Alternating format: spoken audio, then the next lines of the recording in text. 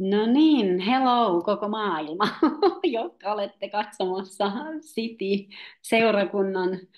Hmm, tämä on legendaarista. Meidän ensimmäinen Zoom-paneeli, jonka me aiomme pitää, koska me kunnioitetaan niin paljon ää, tätä parantumiskonferenssia, joka on samanaikaisesti, niin me ei haluttu pitää omaa kokousta samaan aikaan, e, että ihmiset pystyy helposti menemään sinne, koska me halutaan saada parantuminen läpi myös Suomessa. Mutta me haluttiin kuitenkin, että City-seurakunta voi olla niin kuin jotain viestittämässä.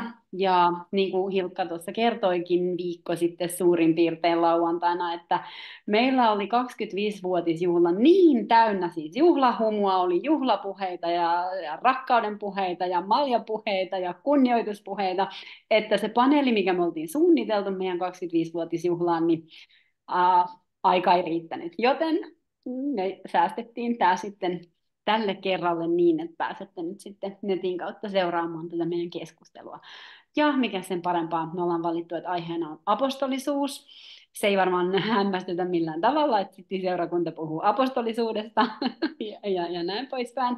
Ja meitä on nyt tässä suuri osa meidän apostolisesta johtotiimistä. Meillä on kaikkien tuntema Seppo Pehkon, joka on tällä hetkellä meidän johtava apostoli. Sä voit vaikka hei, hei. yes. Sitten meillä on ihana Suomen, äh, Suomen, Suomen, koko Suomen kokoinen nimi, Hanna Matikainen. Niin kyllä on Seppokin koko Suomen kokoinen, mutta, mutta ihanasti, äh, ihanasti Hanna siellä hymyilee. Hello. Sitten meillä on Juha Kajosvaara. Ihana. Ja sitten meillä on Hilkka Halonen, joka on myöskin siunattu profeetaksi meillä. Haluatko tervehtiä, Hilkka?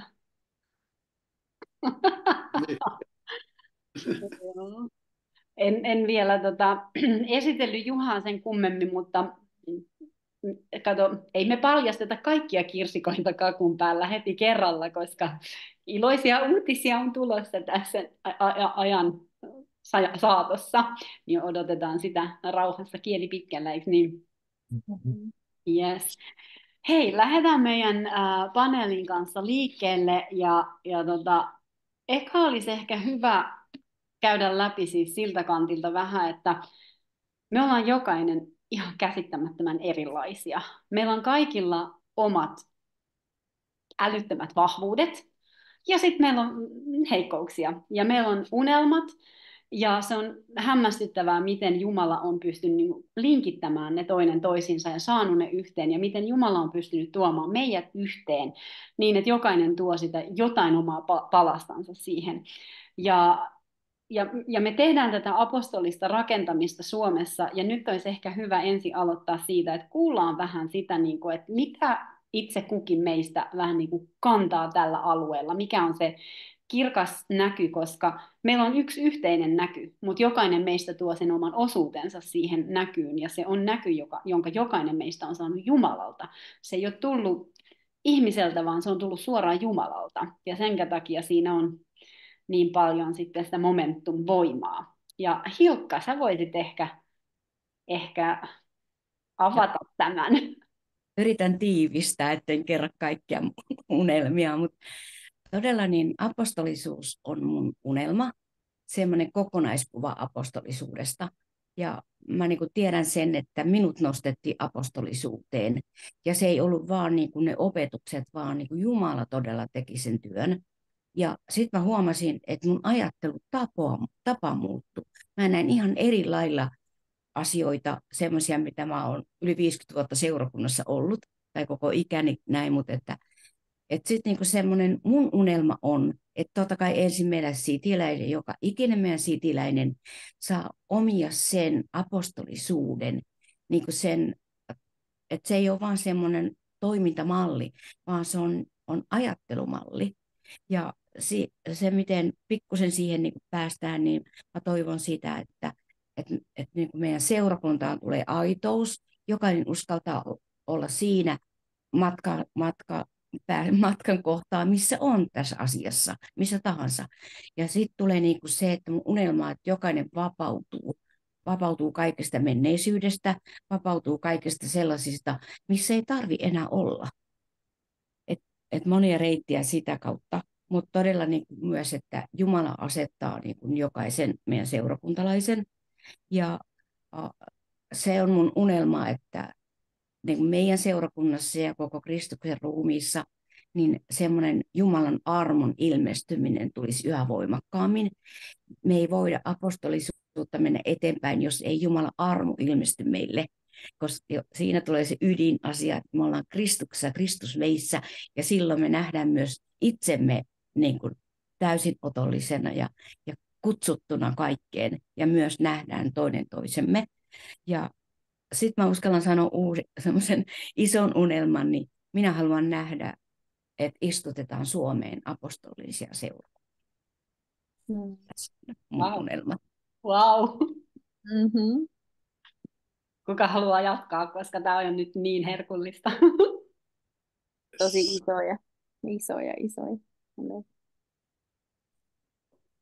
Se on hyvä lähteä heti meidän isoista asioista liikkeelle, koska, koska tota, kun on, on se kokonaisnäky isoista asioista, niin sitten se myöskin konkretisoituu siellä, siellä käytännön tasolla. Ja jos mä sanoisin jotakin siitä, mikä on se kokonaiskuva ja näky, niin kyllä se on se, että me voidaan tuoda taivasta tänne maan päälle. Eli se, mitä Jumala on tarkoittanut ja suunnitellut, että se voidaan, voidaan tuoda tänne maan päälle. Ja, ja silloin se ei ole vain yhteen yhteisöön, vaan se on, jos puhutaan Suomesta, niin se on koko Suomelle oleva. Ja sen takia me on ruvettu kutsumaan jo pitemmän aikaa meillä, meidän, tota, vaikka meillä ei nyt tätä apostolisuutta vielä niin kauheasti edes aikaisemmin puhuttu, niin me puhut, kutsuttiin kuitenkin, että me ollaan apostolinen keskus mitä se tarkoittaa? Se tarkoittaa sitä, että me palvellaan koko Suomea ja, ja, ja tota, sitä jumalallista näkyä tuodaan. Mutta samalla kun me ollaan apostolinen keskus, niin myöskin halutaan huolehtia siitä lähiyhteydestä, eli tästä paikallisesta yhteisöstä, että siellä todella Jumalan läsnäolo on koettavissa ja se rakkaus ja kunnioitus vaikuttaa siellä. Eli siinä on niin kuin kaksi kuvaa yhdistettynä, että, että tämmöinen suuri, iso, laaja kokonaisuus – ja, ja sitten myöskin se yksilön näkökulmasta meillä on se hyvä olla siellä, että, että me saadaan, saadaan kasvaa Kristuksen tuntemisessa ja rakkaudessa ja kunnioituksessa toisia kohtaan. Wow. Aina parane. Yeah. Juha, haluatko kertoa vähän niin kuin sun näystä ja unelmasta? Ja... Joo, itse asiassa me tultiin noin neljä vuotta sitten Sitille ja se, mikä asia muuhun eniten vaikutti, oli nimenomaan tämä apostolisuus ja viistahoisuus. Mä olin siitä kiinnostunut ja, ja tota, aloin kysellä ihmistä. Mä olin erityisesti mua, olin kiinnostunut, koska siellä Efesolaiskirjeen neljännes luvussahan sanotaan, että Jeesus antoi nämä viisi palveluvirkaa tehdäkseen pyhät valmiiksi palvelutyöhön. Eli hyvin keskeinen asia. Sitten mä rupesin kysymään ihmisiltä, että joo, että miten että kun ei tunnu olevan missään näitä palveluvirkoja, mitä se on se apostolisuus, niin vastauksia tuli sitten niin, että joo, että no, eihän niitä nyt enää ole. Eihän se nyt nyt enää. Sitten kun rupesin tarkemmin kysymään ja muun muassa viittasin tähän Efesolaiskirjeeseen, niin sitten mä en saanut oikein mitään vastausta. No onhan siitä, onhan siitä siellä. Se oli oikeastaan ainoa vastaus. Eli ihmiset vastasivat ikään kuin, että en mä nyt oikein tiedä tyyliin. Mä en saanut siitä mitään, mutta sitten kun mä aloin tosiaan nähdä ja kuulla, että mitä Sitillä tapahtuu, niin sitten mä niin tajusin, että hetkinen, se on totta ja todellista. Tämä täytyy olla näin. Että se oli oikeastaan oma kokemus. Mulla lähdettiin sinne liikkeelle. Ja mulla oli myöskin toisenlainen kokemus siinä ihan, ihan sillä, sillä hetkellä. Mä olin jonkun verran aikaa ollut kotiseurakunnassa, joka toimii hyvin eri tavalla kuin esimerkiksi semmoiset totunaiset pastoraaliset tai pastorijohtoiset seurakunnat, mutta sitä ennen kuin menin kotiseurakuntaan, mä seurasin läheltä tämmöisen pastorijohtoisen seurakunnan toimintaa. Ja siinä kävi sillä tavalla, että sieltä lähti yhtäkkiä pastori pois, johtava pastori lähti seurakunnasta pois, eikä siellä ollut ketään. Ja sitten sinne etsittiin vuoden ajan uutta pastoria. Ja se tarkoitti sitä, että siellä kyllä pidettiin palveluksia ja muuta, mutta siellä vanhimmisto sitä asiaa pyöritti. Jotenkin se niin kuin kävi se seurakunta ihan tyhjä käynnillä. sen aikaa, kunnes vuoden päästä sinne tuli sitten uusi pastori, joka sitten taas sai pyörimään ne pyörät ja se lähti toimimaan.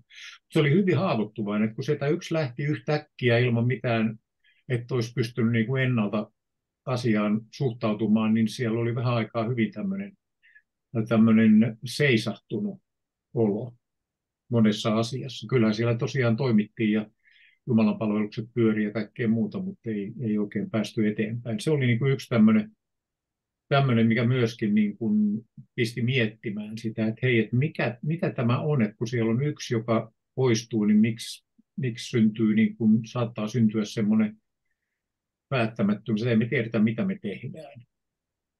Ja tota, se oli yksi semmoinen, joka mulla vaikutti tähän.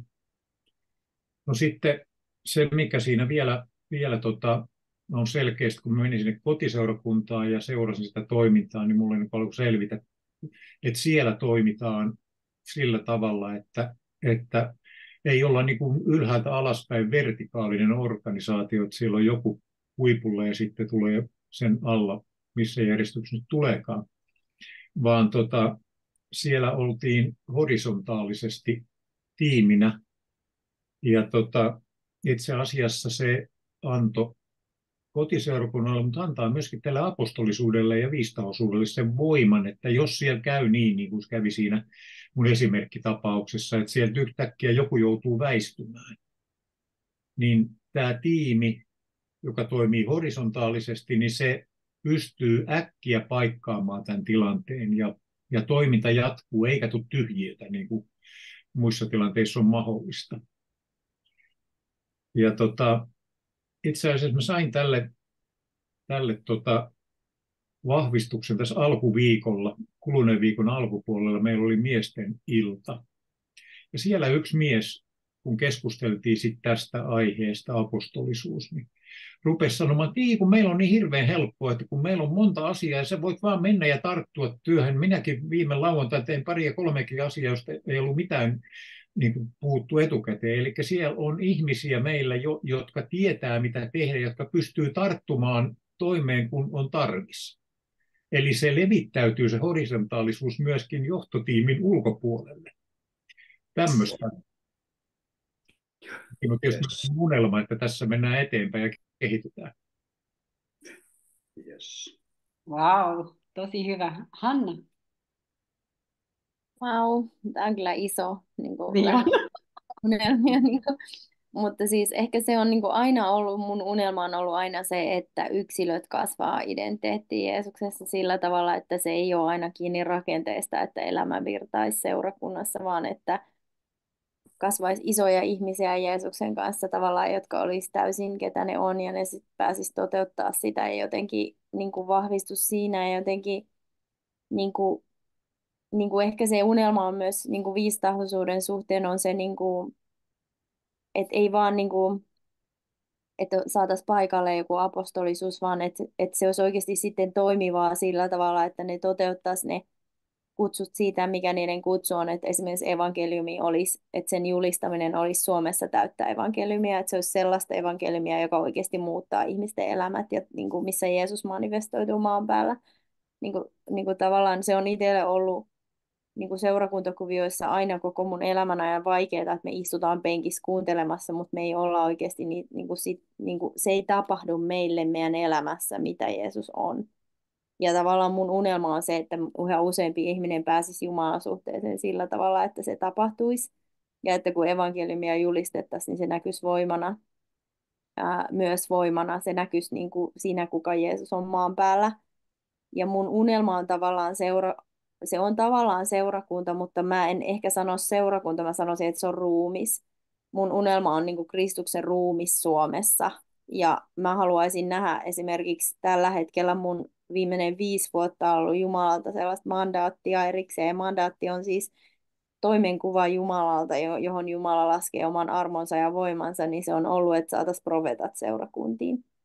Ja, ja tavallaan nehän voi vaihtua ne mandaatit Jumalalta, ja sitten kun mulla se vaihtuu se mandaatti aina välillä, niin sitten kun se on vaihtunut, niin sitten mä keskityn siihen unelmaan, mikä Jumalalta tulee tavallaan aina sen mandaatin mukana. Mutta tällä hetkellä Jumala on vaihtamassa mun mandaattia tuosta profeetat seurakuntiin. Ei se varmaan katoa koskaan se profeetat seurakuntiin, mutta nyt se on niin kuin viimeisin Jumalan kohtaaminen, mikä mulla on ollut, niin oli Jeesus, joka sanoi mulle, että voitko saarnata evankeliumi uusis, koska me ei enää tiedetä, mikä se on Suomessa. Niin mun unelma on nähdä, että Uuden liiton evankeliumi julistetaan seurakuntien pöntöstä. Uh, niin kuin, se hyvin yksinkertainen unelma tavallaan, mutta, mutta se sisältää sitten niin kaiken. Ja mulle apostolisuus ja viistahoisuus on elämäntapa. Mä oon elänyt sitä yli kymmenen vuotta, että mulle viistahoiset palvelulahjat on arkipäivää.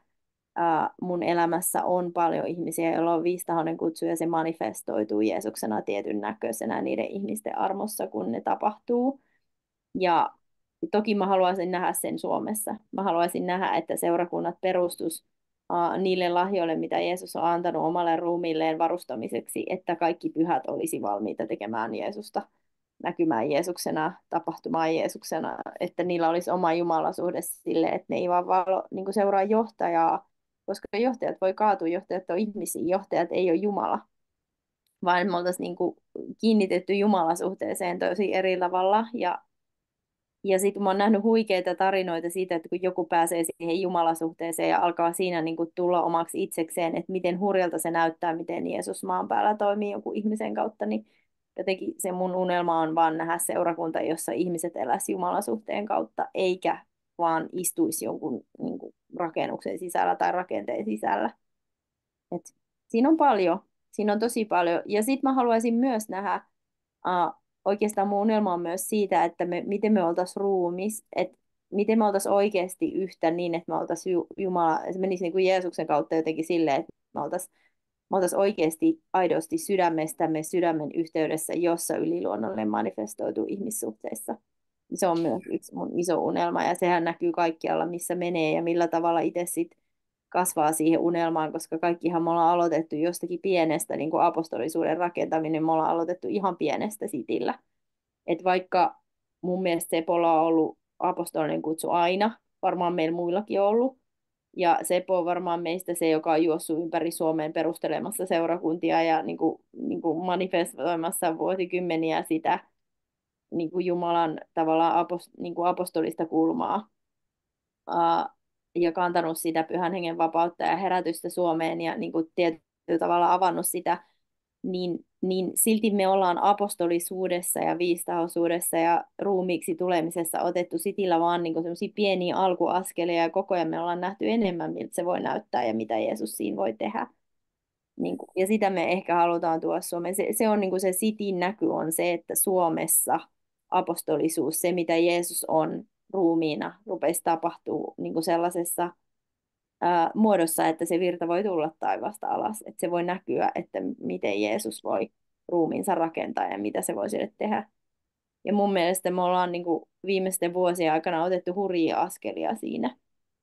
Ja niin kuin kokeiltu kaikenlaista ja sitten opittu hirveästi siinä matkan varrella, että mitä niin kuin, niin kuin se on. Niin ehkä mun unelma on myös se, että Suomi tulisi opetuslapseutettua että Suomesta löytyisi turvallisia paikkoja oppia, oppia Jumalasta sillä tavalla, että Jumalan yliluonnolle voisi oikeasti olla läsnä ja Jumalan, niin kuin se Jumalan, äm, voi sitä kutsua ehkä herätykseksi, koska herätys on meille tuttu sana, mutta ehkä se herääminen Jumalasuhteeseen voisi olla niin kuin parempi sana herätykselle, niin että se herääminen voisi tapahtua ruumiille, koska mä ajattelen, että Suomi on niin täynnä jalokiviä, että siis, että jos yksikin pääsee Jumalasuhteessaan manifestoitumaan, niin se on jo hurjaa. Saatikka, niin kuin, meillä on tuhansia uskovia, jotka ei ole koskaan nähnyt, ketä ne on, tai ne ei ole päässyt niin kuin, ikinä, ne ei ole päässyt siihen kokemukseen, kun Jumala tulee niistä hurjana ulos jollakin tavalla, oli siis mikä tapa tahansa. Ja viistahoisuus on mun mielestä yksi niistä tavoista, mutta se keskittyy just siihen, että seurakuntalaiset pääsisivät siihen tilaan, että ne löytäisi itsestään sen Jeesuksen, joka haluaa ulos niin ehkä, se on, ehkä ne on niin tollaisia tänä päivänä ne mun intohimot niin ruumiin suhteen ja palvelutyön suhteen ja sitin suhteen.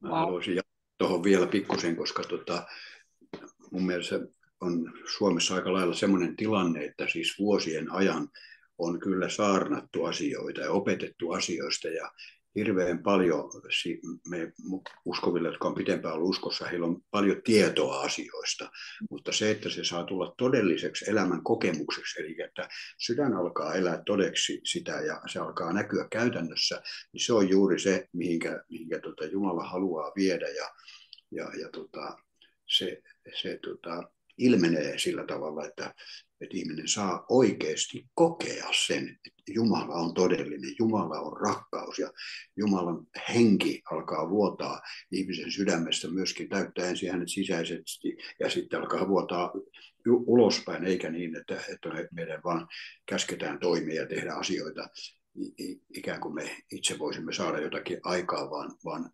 kysymys aina siitä, että se Jumalan läsnäolon todellisuus, se Kristuksen rakkaus meissä alkaa vaikuttaa asioita ja, ja, ja tota, siinä on paljon, paljon ulottuvuuksia, missä se sitten alkaa tulla ilmetä esiin. Wow. Hmm. Tässä on tavallaan niin rikas tai runsas, niin kuin juuri puhuu melkein mistä tahansa. Mm, lyhyesti mä voisin vielä itse kanssa vastata tuohon että mikä on mun unelma.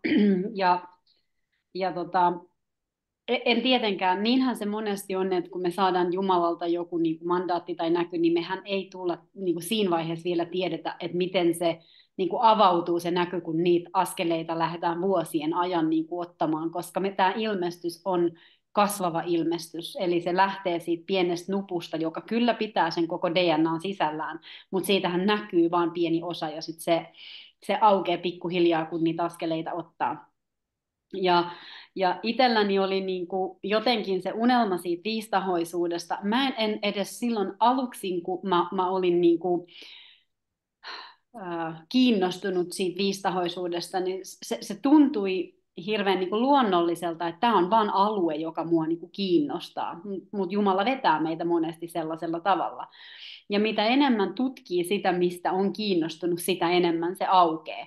Ja sitä kautta Jumala lähti, mä muistan, se oli vuonna 2000, 2016, kun Jumala antoi selkeästi sellaisen mandaatin mulle, että tuo Suomeen viisitahoinen. Ja tietenkin se ei ole vain yhden ihmisen päällä oleva asia, vaan meitä on joukko samanmielisiä, jotka kaikki ovat samaa mieltä siitä asiasta. Ja, mutta näin hän puhui myös minulle. Ja, ja, ja, ja siitä lähti tavallaan sellainen ilmestys myös, joka avautui ja aukesi niin kuin enemmän, että tämähän on täysin loogistakin, että pyhäthän ei voi olla valmiita palveluksen työhön, jos viistahosta ei ole paikoillaan. Sehän näkyy ihan selkeästi tuossa raamatun kohdassa, minkä Juha otti esiin.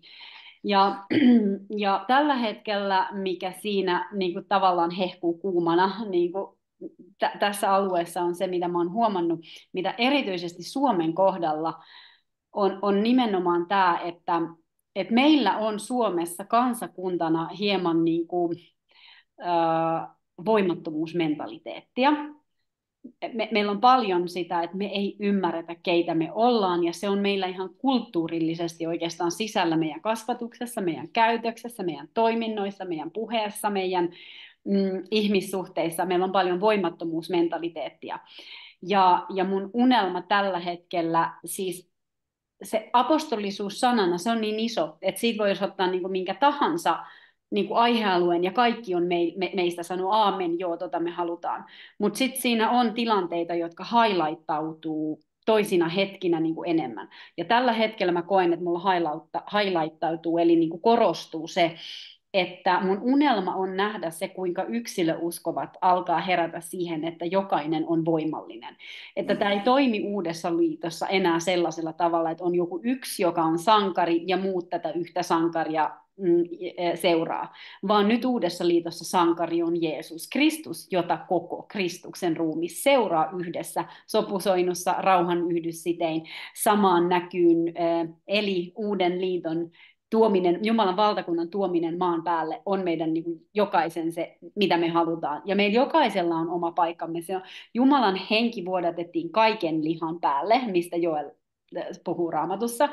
Ja, ja se on meissä jokaisessa, eli se ei ole vain joku yksi ihminen, jonka yllä on joku suuri näky ja muut sitten auttaa tukemaan sitä, vaan se on Jumalan suuri näky, jota kaikki ihmiset toteuttaa. Kaikki hänen omansa toteuttaa, jotka hänen kanssa on liitossa. Ja joskus Jumala toimii niin jännällä tavalla, että hän panee myös sellaisetkin toteuttamaan omaa näkyänsä, jotka ei tiedä olevansa niin kuin edes Jumalan lapsia, jotka ei edes tunne vielä Jumalaa isänänsä, mutta, mutta, mutta erityisesti ne, jotka, jotka, jotka ovat astuneet sisälle pelastukseen, jotka tuntevat Jumalan isänään, niin erityisesti me, meillä jokaisella on oma osuutemme, oma tehtävä, joka on Jumalan niin, Jumalan meihin sisälle koodaava laitta, laittama, se on meidän DNAssa, se on punottu meihin si, niin, että se, se yhdistyy kaikessa meidän persoonallisuudessa, meidän toimintatavoissa, meidän vahvuuksissa ja meidän heikkouksissa.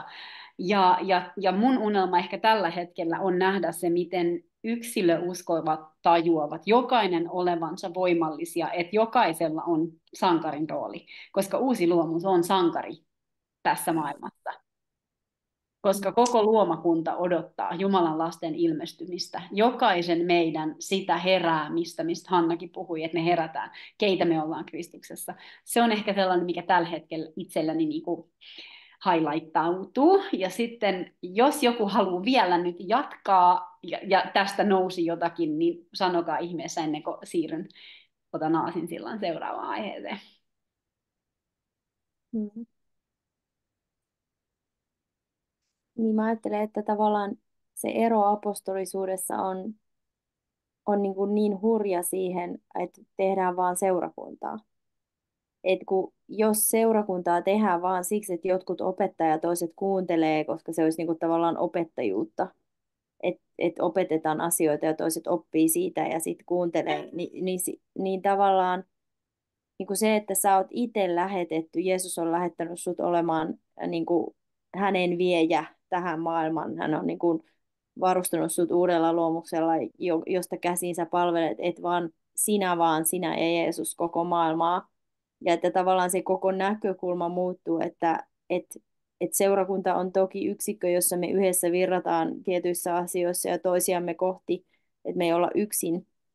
Mutta sitten, että jokainen on lähetetty, jokainen on niin kuin siinä, niin se on niin iso osa koko apostolisuuden ydintä mun mielestä, ja se mun mielestä muuttaa niin kuin seurakuntakulttuurin, jos, jos, jos sä opit ja kuuntelet toisten tekemisiä, jossa niin kuin toi menee Afrikkaan ja parantelee sairaita kadulla ja toi, toi tekee tota ja tota ja sä katot sitä, niin sä katot leffaa, käytännössä juonot, niin kuin, että sä et ole osa sitä, vaan sä katot toisen tekemistä ja vau, mitä Jeesus tekee tuon toisen kautta niin kuin versus, että okei, okay, mä voin.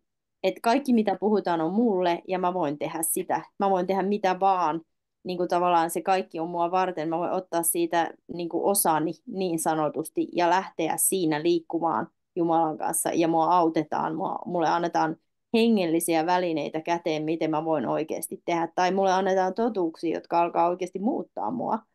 Niin kuin, niin kuin mun oma kokemus apostolisuudesta versus ö, ei-apostolisuudesta on se, että mä olin istunut 30 vuotta seurakunnassa – ja mä, mä oon pikkutyttönä tullut uskoon, mä istuin siellä kuuntelemassa kaikki saarnat, mä kuuntelin tosi paljon netistä myös saarnoja aikuisena.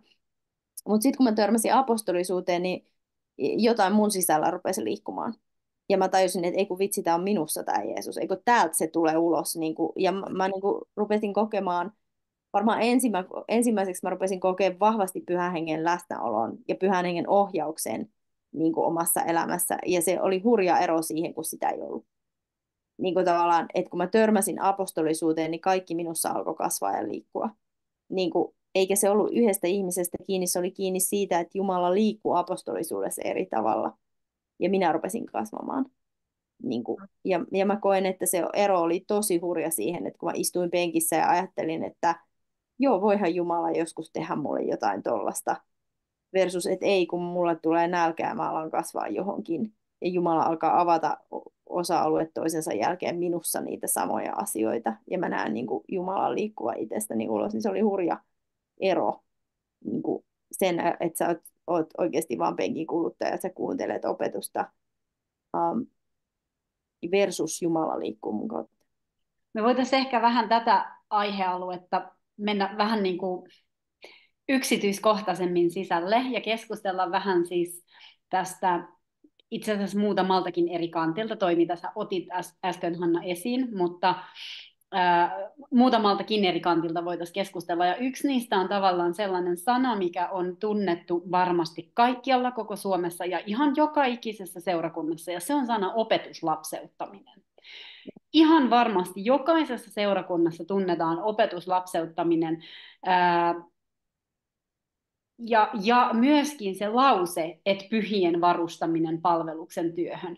Mutta nyt mä haluaisin, että me voitaisiin keskustella vähän siitä, niin kuin, että miltä näyttää opetuslapseuttaminen ja pyhien varustaminen palveluksen työhön, kun työ on apostolista tai jos se ei ole, että miksi se on erilaista, miksi pitää olla apostolinen seurakunta, mitä on opetuslapseuttaminen apostolisessa seurakunnassa ja mitä on opetuslapseuttaminen, kun seurakunta ei ole apostolinen. Mm-hmm. Niin, kovia pöytään. Okei, okay, joo. joo. Tartun heti tuohon sanaan opetuslapseuttaminen, joka on tosi väärin ymmärretty.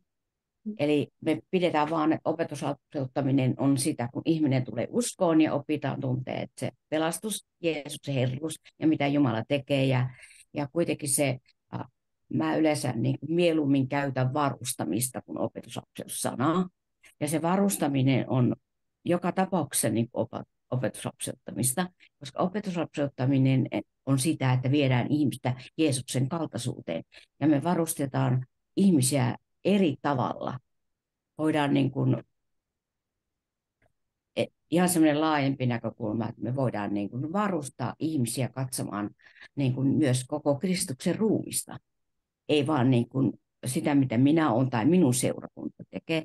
Ja, ja sitten tuota, tässä tulee se kunnioitus, kunnioitus toisia kohtaan, että me niin kuin varustaudutaan, me asennoitumaan kunnioittamaan toisia seurakuntia, minkä tahansa niiden malli on, niin semmoinen eri näkökulmien sietäminen ja erilaisuuden sietäminen tosi tärkeä on, missä pitää varustaa, varustaa toisiamme ja itseämme.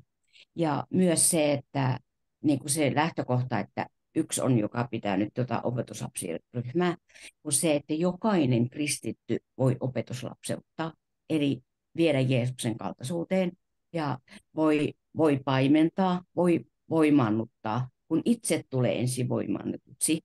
Ja minä näen niin sit sitä, että, että se pyhien viistahosten ihmisten varustaminen on, että se, ne niin kuin tuo sitä kokonaiskuvaa, ei vaan välttämättä niin kuin yhtä aluetta siinä niin kuin että Jeesus on Herra, Jeesus on Herra. Ja niin kuin tällä, mutta että totta kai niissäkin tulee sitten se kutsumuseru ja miten sinä niin kuin varustat viistahosen ihmistä niin toisia, toisia siihen. Mutta niin kuin mä näen siinä, että siinä on ainakin yksi tämmöinen ero, että se on semmoista kokonaisvaltaista. Ja, ja just siinä, että varustetaan se ihminen näkemään se ensin, että kuka hän on Kristuksessa, se identiteetti Kristuksessa, ja sitten myös, että sinä olet voimallinen toimimaan, sinä olet voimallinen tekemään niin kuin toisista opetuslapsia, mutta että sitten erikseen myönnetään, että pyhät varustaa, mä niin kuin näen aika paljon, että uh, viistahoiset varustaa niin kuin aika paljon niitä tulevia johtajia, jotka sitten niin kuin voi niin kuin sillä niin johtaa, niin kuin, saa eväitä siihen ja saa valmiuksia. Ja sitten totta kai eihän me niin varustamisesta suljeta opetuksia pois, niin kuin, niin kuin kokouksen opetus, niin kuin opetuslapseuttamista, missä kokouksessa tapahtuu.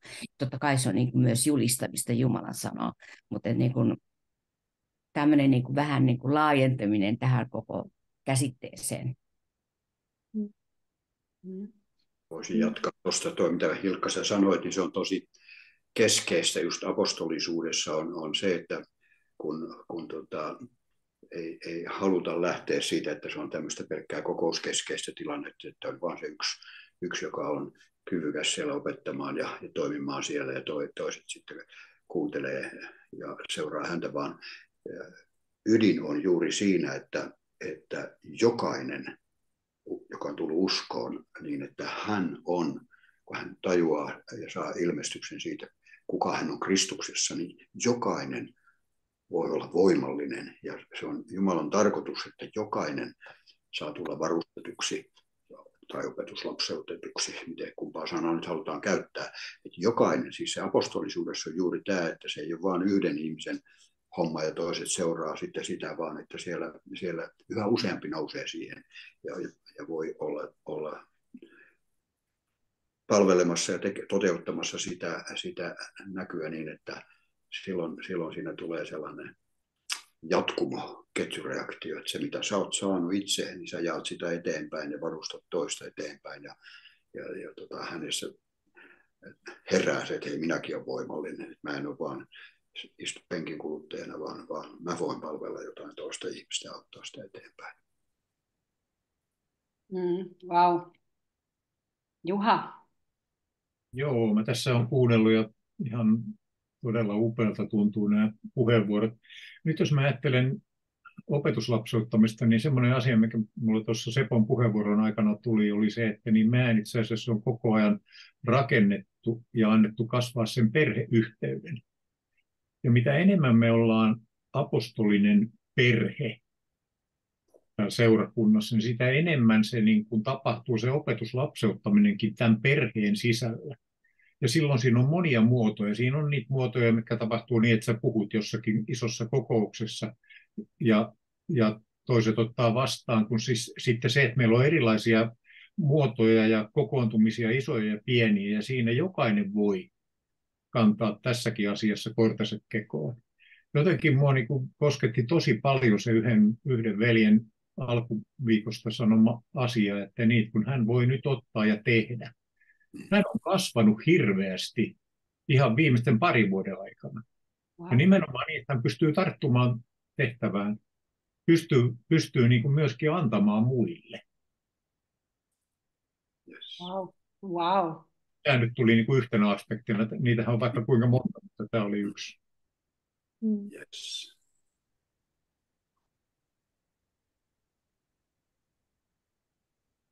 Monesti, mm, äh, monesti se näyttäytyy ehkä tietyllä tavalla siis silleen, että jos me niin kuin todella luetaan se lause, että pyhien kuuluu tehdä palveluksen työtä, eli ministriä, eli palvelutyötä, ja monesti se näyttää seurakunnassa, joka ei ole apostolinen, niin se näyttää siltä, että siellä on vain muutama, joka tekee sitä palveluksen työtä. Että siellä on se, joka palvelee sanalla, ja sitten hän mahdollisesti pienen tiiminsä kanssa myös rukoilee toisten puolesta, ja ja sitten niiden muiden tehtävä on tavallaan vaan niin kuin mahdollistaa sen kokouksen pitäminen, eli kokouksen pitämisen puitteet, että siellä on kahvia ja että on siistiä ja että on niin kuin penkit oikeissa rivissä. Kun jos pyhien kuuluu olla ne, jotka tekee sitä palveluksen työtä, niin sen pitäisi näyttää siltä, että ne kaikki pyhät on tekemässä palveluksen työtä. Kaikki pyhät niin palvelee Eli silloinhan se pitäisi olla niin, että me, meillä ei ole niin kuin iso porukka, jotka kaikki jonottavat jonossa kuullakseen profeetalta profetian, vaan profeetan kuuluu opettamaan jokainen kuulemaan Jumalan sanaa niin, että jokainen voi profetoida, jokainen voi kuulla Jumalaa. Ja totta kai ei se tar- tarkoita siis sitä, että, että mä kuulen Jumalaa nyt tästä eteenpäin sit vain itselleni, koska, koska nyt profeetta on opettanut mut kuulemaan. Ei, vaan me rakastetaan toisiamme. Me halutaan puhua ihania Jumalan niin kuin, tulevaisuuden sanoja toinen toisillemme, niin mä voin kuulla sulle ja sä voit kuulla mulle. Ja meidän ystävyys kasvaa, meidän yhteys kasvaa, meidän kaikki se kanssakäyminen ja tekeminen toinen toisemme kanssa kasvaa, kun sä voit profetoida mulle ja mä voin profetoida sulle ja ja, ja sä voit rukoilla mun puolesta, että mä parannun, ja sitten mä voin rukoilla sun puolesta, että sä parannut, ja, ja, ja niin poispäin. Eli siinähän tulee niinku se, että me kaikki pystytään siihen, ja me kaikki voidaan palvella toinen toisiamme, ja me voidaan saada myös koko tämä maapalveluksi, koska meidän itse asiassa kuuluu viedä tämä kaikkialle. Jumala tekee työtään kaikkialla. Jumala tekee, hän ennalleen asettaa kaiken ja hän tekee sitä työtä kaikkialla. Ja seurakunta on ehkä hyvä sellainen mm, ponnistuspaikka niin kuin harjoitella sitä, mutta me halutaan nähdä, kun tämä leviää kaikkialle, jo, joka puolelle, joka paikkaan, joka ikiselle työpaikalle, jokaiseen harrastukseen, mediaan, kouluihin, jo, kaikkialle, joka paikkaan. Mm. Niin, se, se on hurja ero, jos käy sunnuntaina kirkossa kuulemassa Jumalan sanaa ja sitten menee kotiin ja sitä ajattelee, että no sitten seuraavana sunnuntaina tavallaan. Ja mä ajattelen, että se, että jokainen tavallaan niin kuin apostolisuudessa tulee niitä kulmia, että sun ei tarvi olla samanlainen kuin muut siinä, miten sä, niin kuin, että mitä sun sisältä tulee ulos, mikä se armo on, mikä sulla itse asiassa itselläs on. Ja kun mä mietin vaikka itse, että kun mä oon saanut ensimmäisen viistahoisen äh, ihmisen, jolla oli viistahoinen kutsu mun elämään, se oli paimen. Ja mä olin elänyt avioliittoa ja perhettä ja kaikkea, se oli aika sotkuisessa tilanteessa, en mä niin osannut oikein tehdä sitä, koska mä olin rikki tietyllä tavalla ja mulla ei ollut mallia miten kasvatetaan lapsia tai perhettä tai muuta, mutta kun mä sain ensimmäisen viistahosen ihmisen mun elämään, niin ei se mulle kädestä pitäen opettanut, että miten mä mun lapsia hoidan.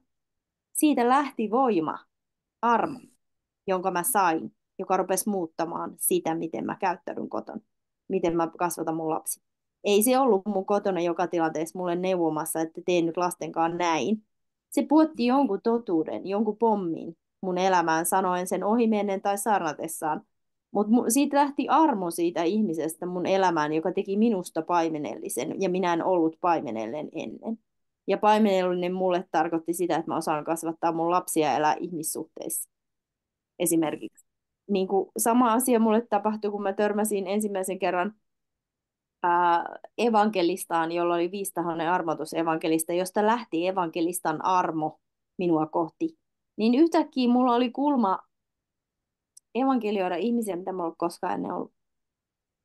Ja mitä lähempänä mä olin sitä ihmistä, niin sitä isommaksi se kulma jollakin tavalla mun sisällä muuttui. Se ei ollut pysyvä muutos aluksi, mutta se selkeästi vaikutti minun hengessä, minun, minun, minussa, minun sisällä, mun sydämessä asioita, jotka tuli siltä toiselta armona ja ne siirtyivät minuun. Niin tämä on mun mielestä se apostolisuuden ydin on se, että se armo siirtyy niistä ihmisistä. Se, sitä ei sulla alun perin, vaikka se olisi Jumalalta siellä, niin se on tavallaan aukasematta se alue sinussa. Sä et, mä ajattelen, että ne kaikki ehkä on meissä, koska Evesolaiskirja, että koko Kristus on meihin piilotettu niin kuin, niin kuin sisäisesti meissä, niin mä ajattelen, että ne ehkä aukeavat ne armoit, armot meissä. Että mä ehkä ajattelen nykyään enemmän noin päin, kun mä ajattelen, että ne annetaan ulkoa päin. Mutta joka tapauksessa se minussa aukasi paimenuutta, sen ihmisen olemassaolo ja rakkaus mun elämässä alkoi hirveät määrät paimenellisuutta. Ja mä otin sen myös hengessä vastaan, en vaan fyysisesti, hän joskus käytiin syömässä ja juteltiin asioista, mutta, mutta tavallaan mä ajattelen, että siitä kutsutaan impartaatioksi tai armon siirtymiseksi tai armon avautumiseksi, kun se ihminen on paikalla. Ja sitä se apostolisuus mun mielestä eniten on, että Jumala on antanut joillekin ihmisille armon avata toisessa ihmisessä jotain tiettyä. Ja sitä armoa ei ole kaikilla. Sitä on niillä, joille se on annettu tietyllä tavalla. Että et, joo, me ei seurata ihmisiä, me seurataan Jeesusta, Jeesuksella on se kaikki. Mutta niistä ihmisistä välittyy armo. Ja se on niinku, tavallaan niistä ihmisistä, siksi ne on niinku mun mielestä lahjoja seurakunnalle. Ja mun omassa elämässä ne ihmiset, jotka on kantanut viistaosta palvelulahjaa, on aukassut mussa alueita, joita ei aikaisemmin ollut auki. Ja, ja mitä enemmän mä oon hengailu niiden seurassa, äh, kuunnellut niiden opetuksia, niin sitä enemmän minussa on avautunut armoa, jota minä en aluksi kokenut itsessäni. Ja mä muistan, miten hurja armo oli, kun mä kävin sellaisessa seurakunnassa ulkomailla, missä oli viistahonen ollut 30 vuotta toiminnassa. Niin kun mä menin sinne, niin musta tuntui, että, että mä en ole ikinä kohannut Jumalaa niin paljon kuin mä kohtasin siellä. Ja sama Jumala meillä on täällä sama Jumala meillä on täällä, mutta jotain siellä tapahtui sellaista, mikä aukasi minussa isoja alueita, ja ne jäi auki. Ne jäi auki ja ne jäi toimimaan, kun mä tulin kotiin sieltä. Ei ne niin kuin ollut vain kertakokemuksia jossain konferenssissa. Tämä on mun mielestä se ydin opetuslapseuttamisessa. Ei ole, miten se tehdään, mikä se tapa on, millä mä tuon sen asian. Niitä tapoja on varmasti hirveästi hyviä ja eri ihmisillä erilaisia. Jollekin esimerkiksi opettaminen on ihan hyvä tapa tuoda asioita mutta siinä pitää liikkua se armo, siinä pitää liikkua se Jumalan substanssi siitä ihmisestä seurakunnalle. Ja sitä ei voi liikkua, jos sulla ei ole sitä kutsua ja armotusta Jumalalta. Niin sitä substanssia ei ikään kuin liiku, ellei Jumala yliluonnollisesti puutu joskus tilanteisiin ja liikuta itsensä miten haluaa. Mutta kun se on meistä kiinni, se on niin kuin siitä kiinni, että Jumala antaa toisille armon olla apostoli, toisille profeetta niin edespäin, niin se armo välittyy. Rajummat kokemukset ja todistukset omassa elämässä on sitä, että joku tulee hengailemaan seuraan ja sitten se sanoo, että miten sun seurassa on niin helppoa kuulla Jumala. Mm. Niin kuin. Ja sitten sä oot silleen, että jaa, on vai? Koska eihän mä sitä, sehän on toisen kokemus. Mutta tavallaan niin kuin se välittyy se armo. Tai, tai sama asia, kun sitille tulee ihmisiä ja ne todistaa jälkeenpäin, että, että ne ihan kun olisi tipahtanut valtakunnan sisälle, kun ne tulee meille.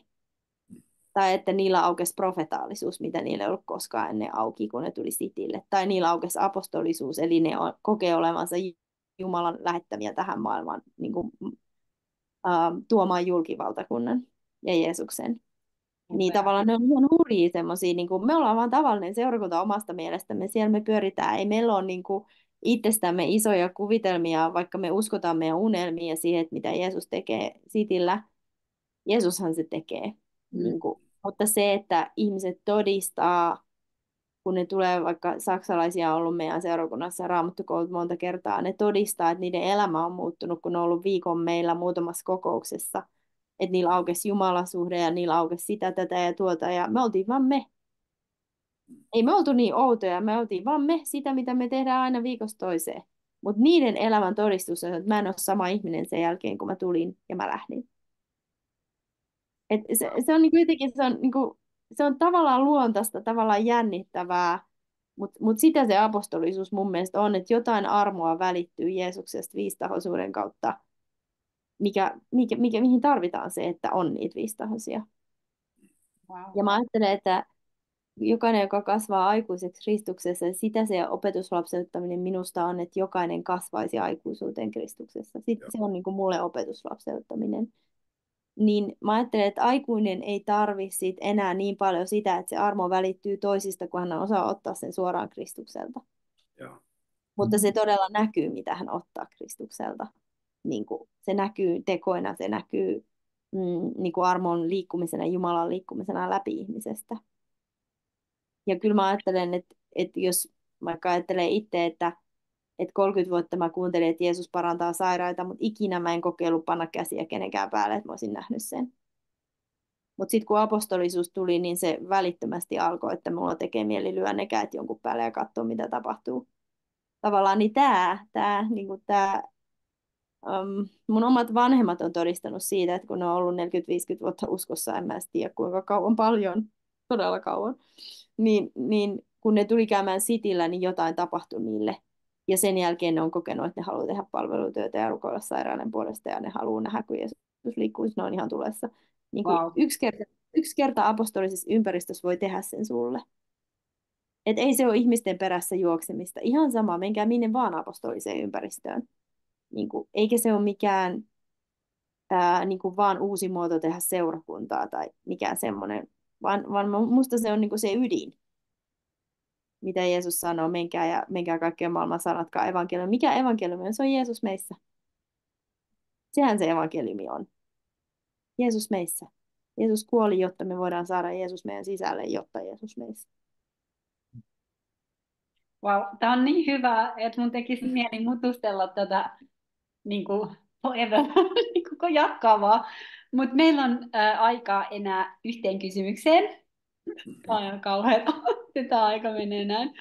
Meillä on yksi kysymys, ja varsinkin jos yritetään pitää se silleen, niin kuin, mm, pidetään se silleen, että tämä tuntuu silti meistä kaikista hirveän hyvältä. Eli ei rajoiteta itsemme liikaa, eikö niin? Koska jokaisen minuutin jälkeen on seuraava minuutti aika ei pysähtymässä mihinkään, joten, joten käydään vielä yksi kysymys läpi ihan rauha, rauhasta käsinä niin, että saa ihan kunnolla omasta sydämestään vastata ja, ja katsotaan, mitä me sitten sen jälkeen ehkä kohta vähän rukoillaankin ja näin. Uh, mutta jos, jos, tota, jos jokainen voisi jakaa niin kuin jonkun ajatuksen tavallaan siitä, että koska meille siis se, että me siirryttiin apostolisuuteen, niin se oli tietyllä tavalla kulttuurin muutos. Ja niitä kulttuurin muutoksia voi tapahtua niin kuin monella eri osa-alueella. Niin se voisi ehkä olla rakennukseksi ja hyödyksi jollekulle, jos me osattaisiin käsitellä tai tuoda vähän niin kuin esiin sitä, mitä me ajatellaan, mitä me ajatellaan kulttuurimuutoksessa, että mikä siinä on hyviä puolia, mikä siinä on kompastuskiviä. Että ihan vaan, niin kuin, ettei tarvitse sokkona mennä niin kuin jonnekin umpihankeen, jos, jos haluaa toteuttaa kulttuurimuutoksen omassa ympäristössään, oli se mikä tahansa, koska kulttuurimuutoksia tehdään työpaikoilla, niitä tehdään koulutuksessa, niitä tehdään ka- kaikkialla, niin nyt tämä on semmoinen ehkä geneerisen, tai su- suo myöskin mahdollisuuden geneerisesti ajatella, että ei tarvitse ajatella vain seurakuntaympäristöä. Kulttuurimuutoksen hyvät puolet ja kompastuskivet. Kuka aloittaa? Okay. Mä en tiedä vastaanko mä nyt ihan suoraan, mutta että tässä on niitä, että kun rakennetaan seurakuntaa ja minkälaisia kulttuurimuutoksia, niin, niin kuin se kulttuurimuutos siitä, että missä me tarvitaan se, niin se on yleensä jo, miten me ollaan niin kuin läsnä, miten me ollaan toistemme kanssa. Eli siihen tulee rakkauden elementti, siihen tulee myös uuden liiton rukous ja myös se vapautuminen, joka on tosi tärkeää.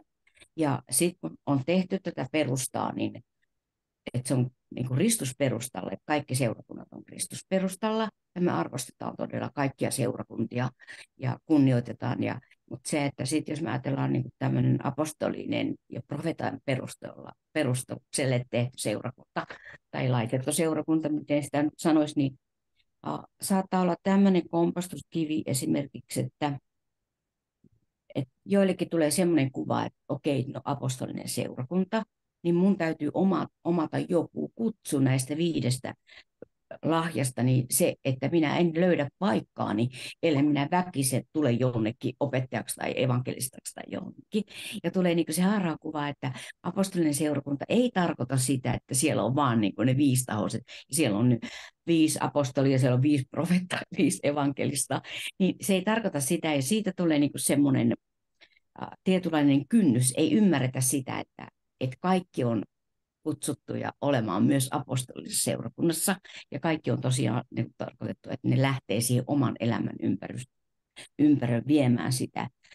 tuota, Sitten tämmöinen apostolinen seurakunta, se on välillä hyvin hidasta rakentamista. Siinä voi tulla tämmöinen kompastuskivi, että aletaan lipsumaan ei se nyt ole niin nuukaa, että otetaan sieltä jostakin toiminnallisesta, pastoraalisesta seurakunnasta niin kuin mallia, että sitten me voidaan niin kuin, pär, niin kuin, vastata ihmisten tarpeisiin. Kun pastoraalinen seurakunta on monta kertaa sellainen tuttu, ja, ja siellä on toimintoja, jotka on sulle tuttua, ja jos sä tykkäät lapsista ja koet, että sä olet lasten kanssa, niin sä heti, niin mä tuun tänne nyt pidemmään niin kuin, lapsille kokousta. Mutta kun se apostolinen seurakunta on, että tai minä ajattelen niin näin mun ymmärryksellä, että, että niin se yhdessä rakentaminen on sitä, että jokaiselle, joka sitä rakentaa, on se mm, perusta, että mikä on se, mihin, että se apostolinen perusta, että me rakennetaan sille. Ja, ja kaikki meidän, jotka niin toimii, niin, niin omaa sen, ei niin, että, että se Kristus on siellä, mutta totta kai, mutta se tulee monta kertaa siitä, että uskalletaanko me niin kuin opettaa niin kuin suoraan tätä, että, että apostolinen seurakunta tarkoittaa, että sä oot saanut sen näyn, että sä voit täysillä niin palvella siitä. Ja, ja sitten taas toisaalta se uh, voi olla niin kuin sitten se näkyy tulee apostolisuudesta, varsinkin jos on niin kuin vanhempi seurakunta, niin, niin sitten se on niin nopeaa se muutos, että sitten ihmiset tippuu pois niin kuin sen takia, kun ne ei, ne ei niin kuin tiedä sitä, että, että mitä ne tarkoittaa, että on perhe, seurakunta, yhteisö.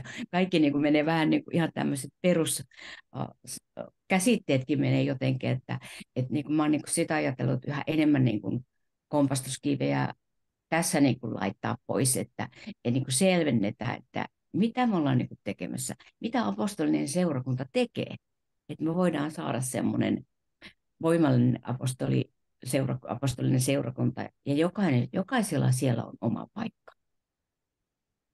Wow, tosi tosi hyvä.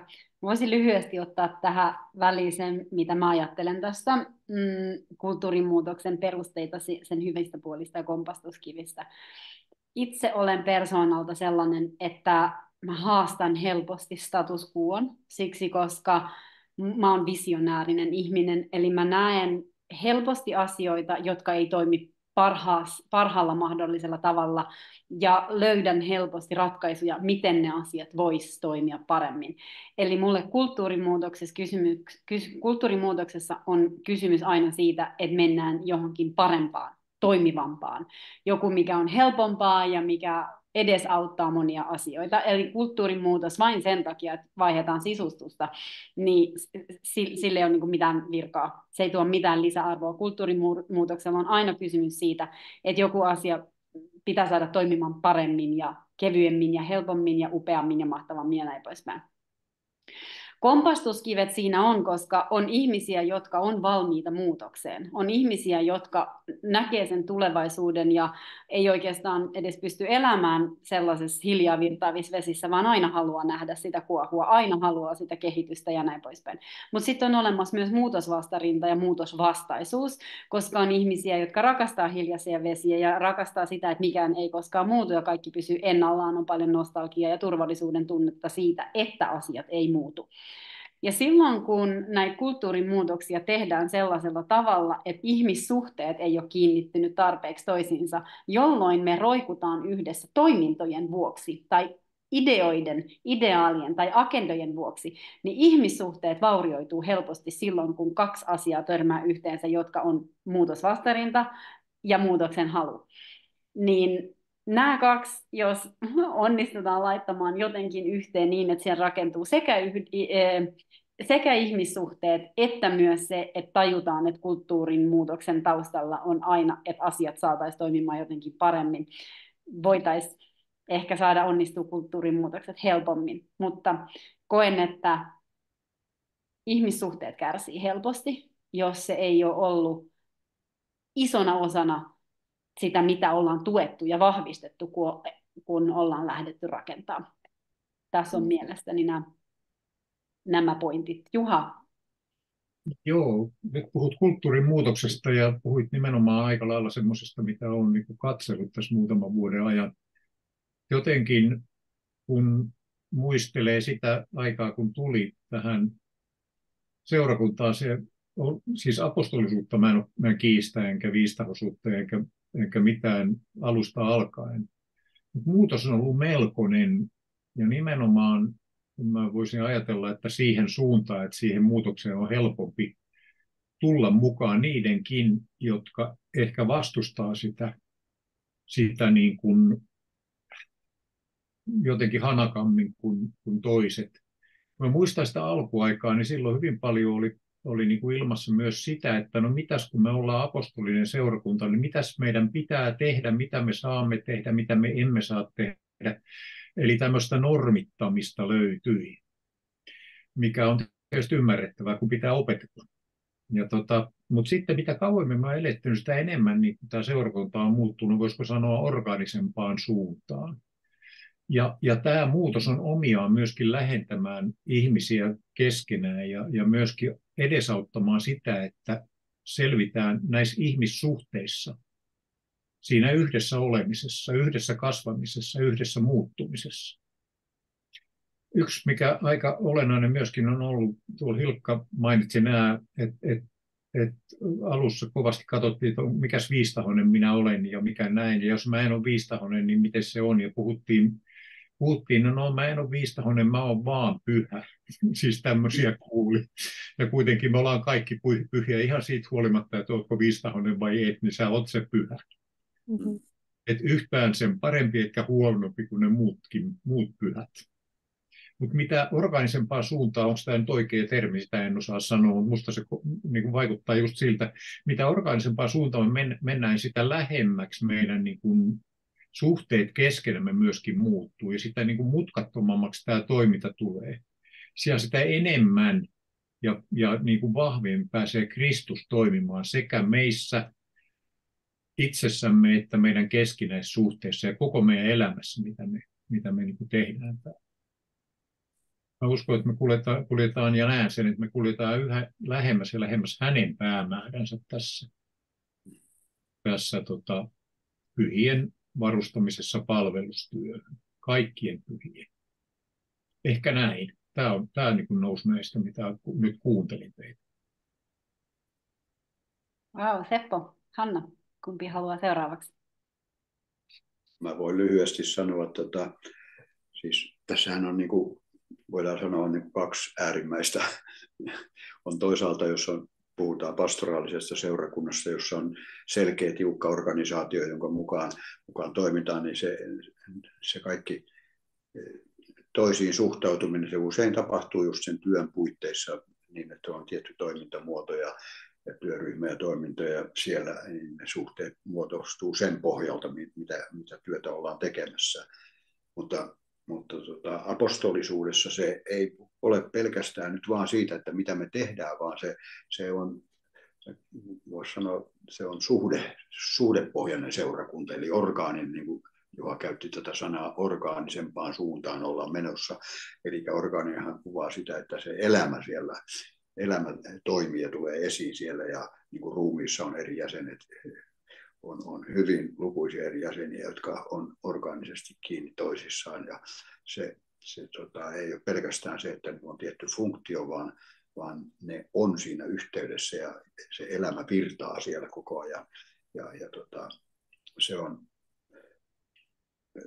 siinä se, se, mitä tapahtuu, niin se tapahtuu niin kuin siitä elämästä käsin, mikä on sisällä, eikä siitä, että nyt mun tehtävä on tämä, mun pitää tehdä tämä juttu tai tuo juttu. Niin tämä on se, varmaan se kulttuurimuutos aika, aika merkittävästikin, miltä se näyttää, jos puhutaan, että Mun täytyy sanoa, että ihan aikaisemmin, kun mä olen ollut monessakin seurakunnassa, seurakunnassa, tai sanotaan ainakin pitkään ollut isossa seurakunnassa, joka oli, oli selkeästi vanhemmistojohtoinen seurakunta, ja siellä, siellä oli vaikea, että muutoksia tapahtuu, siellä piti pitkään käydä, käydä neuvotteluja, että päästään eteenpäin siinä, ja no en mene siihen, minkä takia mä sieltä meni pois, mutta sitten kun, kun tota, perustettiin tämä City-seurakunta, niin, niin mä en halunnut sellaista vanhemmistokeskeistä seurakuntaa, vaan että se on selkeästi se näky, mikä pastorilla on, että voidaan mennä siihen suuntaan rohkeasti. Ja sitten tultiin justiinsa tähän, mikä aika yleisesti on pastoraalinen seurakunta ympäri maailmaa, niin seurakunnat on pastorijohtoisia ja ne ottaa siihen ympärille johtotiimin, sit, jonka kanssa voi jakaa asioita. Mutta sekään ei ollut sitten loppujen lopuksi se tyydyttävä koska Jumala alkoi näyttää, näyttää mulle siitä, että nyt on vielä olemassa jotakin parempaa. Ja, ja tota, se, mitä, mitä lähdettiin sitten Sitillä tekemään, niin oli juuri se, että tämä viistahoisuus alkoi tulla esiin ja sitä ruvettiin tutkimaan. Jasminhan sitä toi vahvasti esiin ja minäkin olin jo sitä aikaisemmin tutkinut, mutta se ei ollut niin keskeistä. Mutta sitten, sitten siitä tuli sellainen, että mä halusin siihen kunnolla paneutua ja johtotiimissä me ruvettiin paneutumaan siihen asiaan ja ja, ja niinhän siitä tuli siis sellainen, että tämä on nyt jotain semmoista, johon Jumala haluaa meitä viedä. Ja, ja totta kai kun uuteen ollaan menossa, niin sitten siinä otetaan taas, mennään niin kuin helposti äärimmäisyyteen, eli otetaan, tulee, me halutaan nyt tämä uusi systeemi tiedostaa ja sisäistää, se alkaa elää sitä todeksi, niin sitten siinä voi tulla niitä, niitä, että se, siitäkin voi tulla organisaatio. Sen takia alkuun mä ainakin haluaisin korostaa sitä, että apostolisuus ei ole semmoinen hierarkkinen järjestelmä, jossa on vaan ylhäältä päin, kun apostoli siellä sanelee sitten, että mitä tehdään siellä, vaan, vaan se, se tota, ne, ne suhteen ja suhteiden kautta tapahtuva elämän virtaaminen on se ratkaiseva asia. Ja, ja, ja tota, tässäkin on sitten kehitystä tapahtunut, että, että, että voidaan sanoa, että ei me enää olla samanlainen kuin viisi vuotta sitten ei todellakaan olla samanlaisia kuin viisi vuotta sitten. Voi, että se on hurjaa se, miten Jeesus on meitä vienyt eteenpäin ja mistä niin kuin ollaan lähetty tavallaan. Itse jo naurattaa jotkut asiat, mitä alussa ehkä kokeiltiin tai tehtiin. Uh, mutta vaikka se pyrkimys olisi ollut siihen, että Jumala saa jotakin, niin mehän aina kokeillaan, että ei me aina niin kuin osuta suoraan siihen, mitä Jeesus on sitten tekemässä, vaan se on matka. Ja mä ajattelen, että että kun kulttuurin muutos on tavallaan, niin kuin, että jotain pitää sisäisesti muuttua minussa, jotta mä luon ympärilleni erilaisen ekosysteemin. Oikeastaan mä puhuisin tämmöistä kieltä. Niin se on niin kuin vaikea, koska me ei olla tuomassa vaan jotain parempaa kulttuuria, vaan me ollaan tuomassa taivaan kulttuuri maan päälle. Niin tavallaan siinä on se, että taivaan kulttuuri ja Jumalan perhekulttuuri, Jumalan seurakuntakulttuuri, Jumalan ihmissuhdekulttuuri on tosi erilainen kuin tämän maailman. Ja mitä enemmän me ollaan eletty tämän maailman kulttuurin mukaisesti tai jonkun muun ekosysteemin, jonkun muun kuin maailman, jonkun demonisen kulttuurin mukaisesti, niin sitä enemmän meillä on muututtavaa tietyllä tavalla siihen, mitä Jumalan kulttuuri olisi. Ja kun se on rakkauden kulttuuri, se on vapaaehtoisuuden kulttuuri, se on kaikkea tätä. Ja siinä pistää vastaan omat sisäiset rakenteet, kivut, rikkinäisyydet, opitut kulttuurit sisällä, pelot, ehkä turvattomuudet pistää vastaan siinä muutoksessa, koska esimerkiksi avoimuuden kulttuuri on vaikea, jos on tottunut piilottaa kaikki asiat sisälleen, kun taivaan kulttuuri on kuitenkin valossa elämistä. Niin esimerkiksi tämä on hyvä. Tai sitten uh, kun ruvetaan luomaan kulttuuria, niin meillä ei välttämättä ole sitä samaa kieltä edes, millä me puhutaan, ja ihmiset ymmärtää meitä väärin, kun me ruvetaan tuomaan jotain konseptia Jumalalta tai niin kuin kulttuurillisesti läpi. Ja sitten nousee pelkoja, että mitä siellä nyt yritetään ja mitä ne nyt tekee. Kaikkea tätä, koska ei ole samaa kieltä, mitä puhutaan. Ja sitten tavallaan transitiossa aina kun mä joudun muuttuu sisäisesti. Se ei auta vaan, että on ulkoinen kulttuuri, johon mä yritän niin kuin tehdä samalla lailla kuin muut tekee. Mm. Vaan kun mun pitää sisältä muuttua, esimerkiksi jos ajatellaan vaikka, ajatellaan vaikka että taivaan kulttuuri on iloa. Niin enhän mä voi niin kuin väkisin tuottaa iloa. Että kun se on meidän kulttuuri olla iloisia, niin me nyt kaikki täällä hymyillään, kun me ollaan nyt niin iloisia. Koska sehän ei ole totta vaan mulla tarvii sisäisesti tapahtua transformaatio siihen, että minulla on ilo, sisäinen ilo Jumalalta hengessä, niin silloin mä elän sitä kulttuuria. Sitä ei voi siis inhimillisesti väkisin tuottaa, mutta mä voin kyllä haluta sitä ja mä voin kävellä sitä kohti ja mä voin Jumalalta sitä niin kuin oppia, mi- miten, ja mä voin oppia sitä toisilta, ja mä voin pitää sitä standardina, että meillä on kulttuuri, missä ollaan iloisia, missä Jumalan ilo virtaa meidän seurakunnassa, missä se on arvo ja value, mitä kohti me kävellään, oltiin siinä miten hyviä tällä hetkellä hyvänsä, mutta this is what we are going, niin kuin tänne me ollaan menossa. Tämä on meidän maali kulttuurillisesti olla seurakunta, joka elää pyhän hengen ilossa, joka elää sisäisessä ilossa, ja, ja, ja oli siinä tiellä mitä tahansa vuoria, niin ne joutuu siitä lähtemään, koska me ollaan menossa tätä kohti. Niin tämä on niinku tavallaan se kulttuurimuutos, että mä en voi sisäisesti pakottaa itteeni kulttuurimuutokseen. Mun tarvitsee Jumalan kävellä sen kulttuurimuutoksen kanssa koko ajan. Niin apostolisuuden suurin haaste on se, että sitä ei voi tehdä ulkoisesti, vaan se pitää tehdä sisäisesti. Ja, ja se ehkä myös on haaste siinä, että, että jos ihminen sit ei halua tai pysty tai rupeaa tulemaan liian isot esteet siihen, että mä muuttuisin, ja toiset ympärillä muuttuu siihen kulttuuriin, niin se, että mä pysyn kelkas mukana ja päätän, että ei kun mä menen tästä läpi ja mä saan ton itselleni myös, enkä hyppää ulos, niin tämä on yksi suurimpia haasteita on tämä, tämä niin kuin loukkaantuminen siihen, että apostolisuus muuttuu johonkin kulttuuriin, johon mä en vielä sisäisesti pääse mukaan, mutta mä haluan sitä. Niin, että mä pysyn siinä venytyksessä, kunnes taivas tulee mun sisälle niin kuin sillä tavalla, että mä saan sen saman kuin niin toisilla on niin, kuin, niin ehkä tämä niin kuin apostolinen mindsetti on ehkä se, että et toi on saatavilla ja mä otan sen itselleni. Se on niin kuin apostolinen mindsetti. Kun taas sitten uh, meidän inhimillinen mindsetti on, että toi on liian outoa, toi, tota mä en ikinä saavuta ja mä niin kuin luovutan siitä kiinni. Että apostolisuus menee vaikka harmaasta kivestä läpi.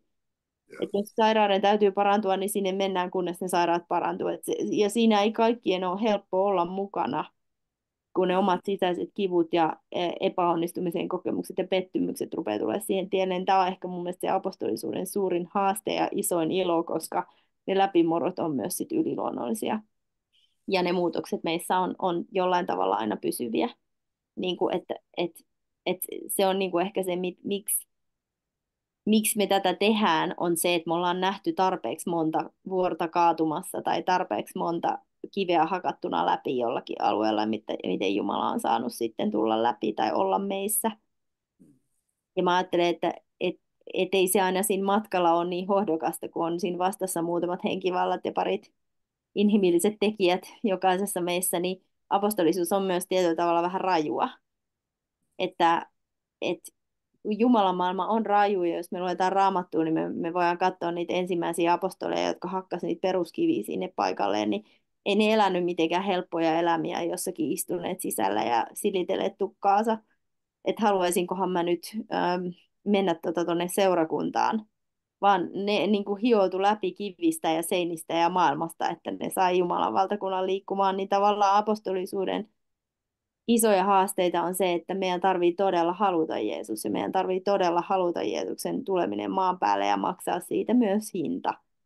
Uh, jokainen individuaalisesti omassa elämässään. Uh, ja, ja se on, ei se ole silleen helppo hinta, koska sun tarvitsee todella seurata Jeesusta ja valita se, jos oot apostolisuudessa mukana. Ja jos, jos haluaa sellaista kivaa pientä seurakuntaelämää niin kuin lisätä oman elämän jatkeeksi, niin se ei toimi apostolisuudessa. Apostolisuudessa sä annat itsesi Jeesukselle ja sitten sä kasvat siinä, miten se tapahtuu ja miten paljon sä pystyt siihen Jumalan antaa siihen armoonsa. Että se, se on ehkä niin kuin, apostolisuus on tarkoitettu niille, jotka oikeasti haluaa seurata Jeesusta. Mä sanoisin näin. Se on niin kuin aika raju. Mutta mut, mut, mut ei, ei se, niinku puoli, se semmoinen puolittainen ei ehkä onnistu. Siitä hyppää ulos, kun se rupeaa maksamaan liikaa, jos, jos, jos, jos puhutaan apostolisuudesta. Mm. Totta. Vau, tukevaa puhetta. Nyt lisää tukevaa puhetta, Hanna. Anna palaa. Joo, mä, tota, mä, haluan, mä haluan vielä tähän, me sovittiin yhdessä, että mä puhun rahasta tähän loppuun. Ja, ja mä sanoisin näin, että nykypäivän maailmassa rahalla on iso rooli valtakunnassa, haluttiin me vai, tai ei. Meistä olisi kaikki kiva, jos timatit tipahtisi taivaasta tänä päivänä ja me ei tarvitsisi ikinä puhua kellekään mitään antamisesta tai rahasta, mutta ehkä tämä on niin kuin hyvä jatkoksi tuohon hinnan maksamiseen ja mukana olemiseen ja kaikkensa antamiseen, koska me ollaan niin kuin annettu kaikki. Ja meidän Cityn tiimi on, me ollaan todella, mä, mä tunnen jokaisen meistä henkilökohtaisesti, niin me ollaan pantu kaikki munat samaan koriin ja sanottu, että Jeesus, nyt kaikki on sinun.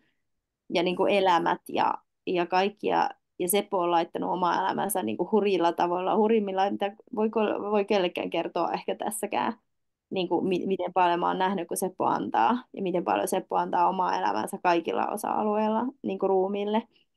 Ja City on uh, mennyt taloudellisesti eteenpäin hurilla tavoilla. Me omistetaan meidän, uh, meidän ylipuolet tällä hetkellä siitä tilasta jo, mikä on meillä Kalasatamassa. Ja Kalasatama on yksi kas, niin kuin rajuiten kasvavimpia alueita koko niin kuin Helsingin alueella. Sinne tulee tuhansia asuntoja tällä hetkellä nousee meidän ympärille koko ajan.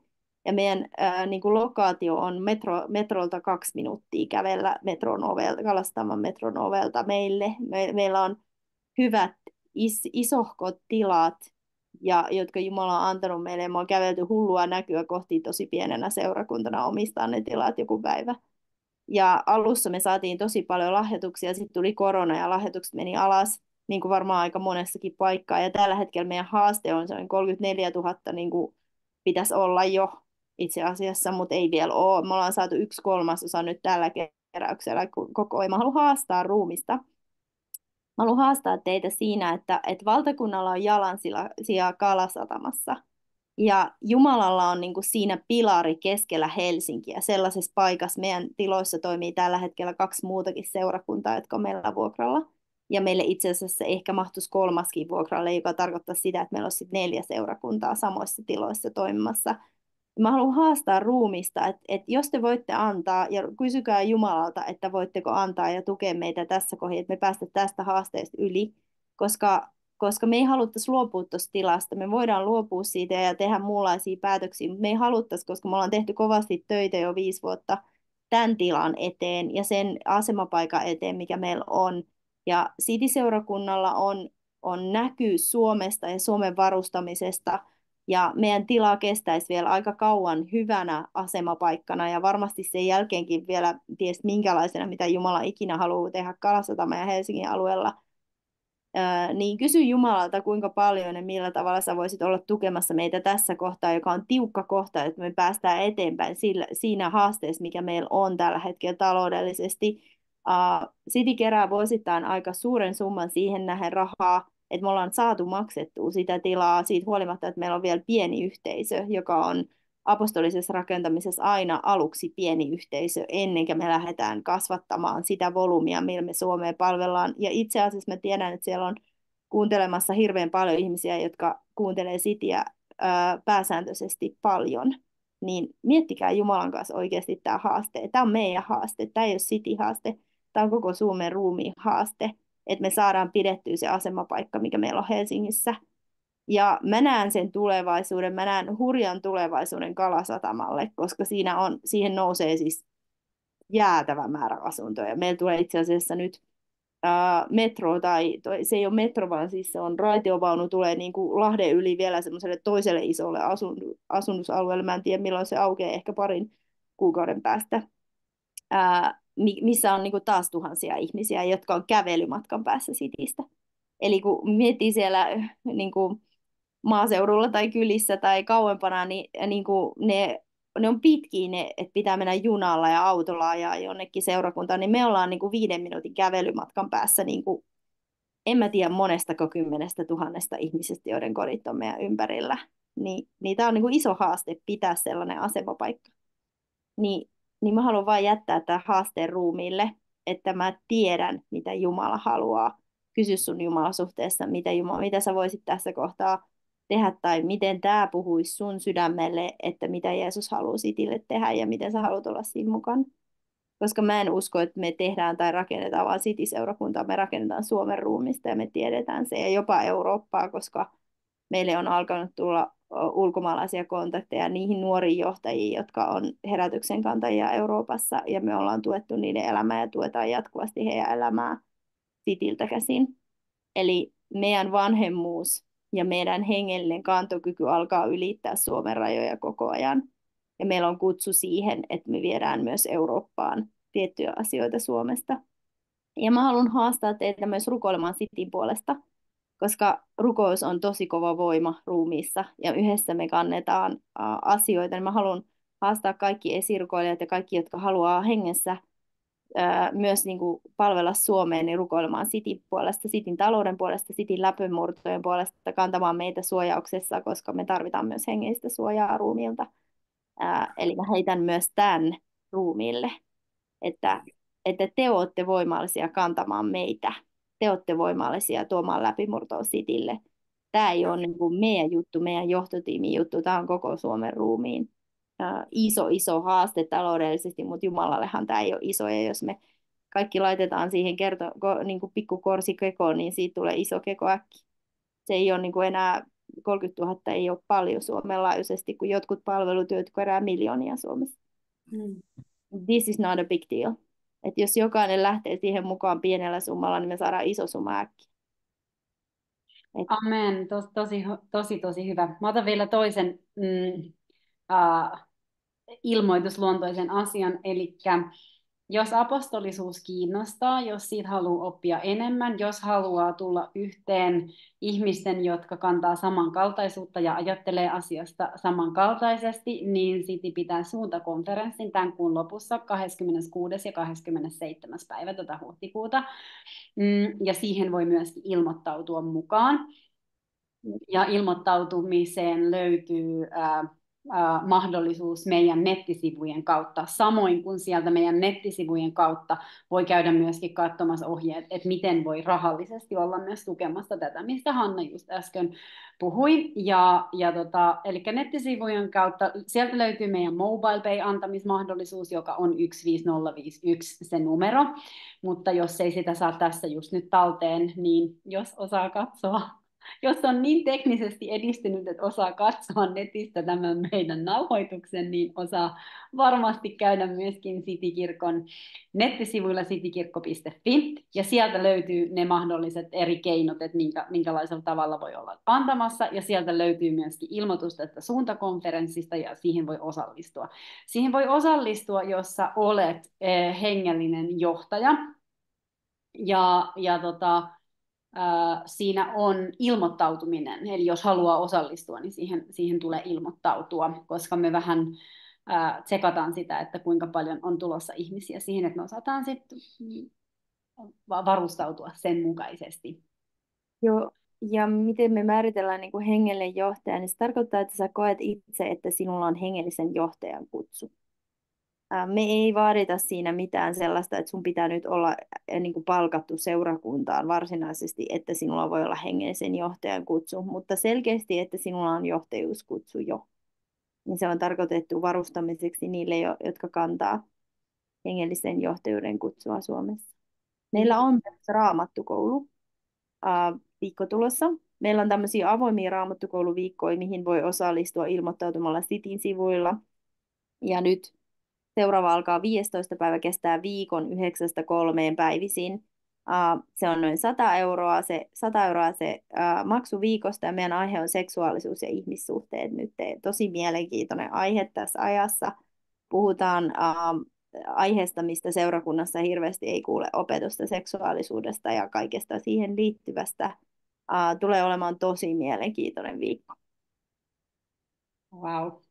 Yes, no niin. Sitten me voitaisiin ehkä vielä rukoilla uh, tähän loppuun kaikki, minkä koemme itse, niin, niin tota, sekataan vähän, että, että ei puhu toisen päälle, koska rukouksessa voi helposti lähteä yhtäkkiä aaltoilemaan, niin tota, rukoillaan vielä, koska varmaan monet koki, niin kuin, että tämä apostolisuuden sanoma, mistä me puhuttiin, niin se varmaan herätteli ja se kosketti ja, ja jotain lähti värähtelemään, niin me voitaisiin ehkä vapauttaa tätä ihmisten ylle. Ja mä haluaisinkin ihan ensimmäisenä, mä haluan niin julistaa jokaisen, joka kuulee tämän meidän keskustelun, niin mä haluan julistaa meidän jokaisen hengelle, että sinut on kutsuttu Jumalan tahosta, Jumalan toimesta sinut on kutsuttu. Jumala ennalleen asettaa koko luomakunnan ja jokaisella meillä on luomakunnan ennalleen asettamisessa rooli, meillä on tehtävä,